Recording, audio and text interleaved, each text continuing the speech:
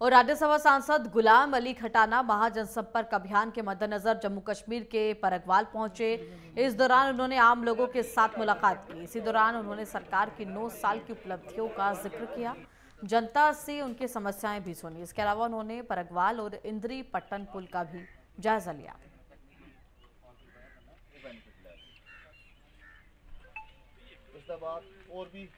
नरेंद्र मोदी जी, नौ साल बेमिसाल। पूरे देश में ये कार्यक्रम है कि पिछले नौ सालों में।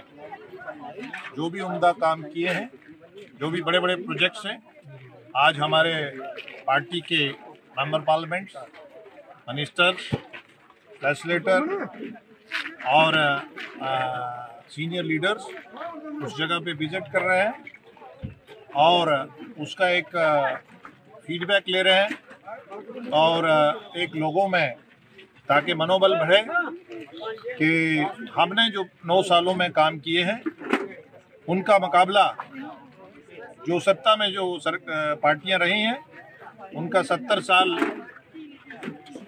नौ साल हमारे, उनके अगर 140 साल होते तो वो भी नहीं मुकाबला कर सकते।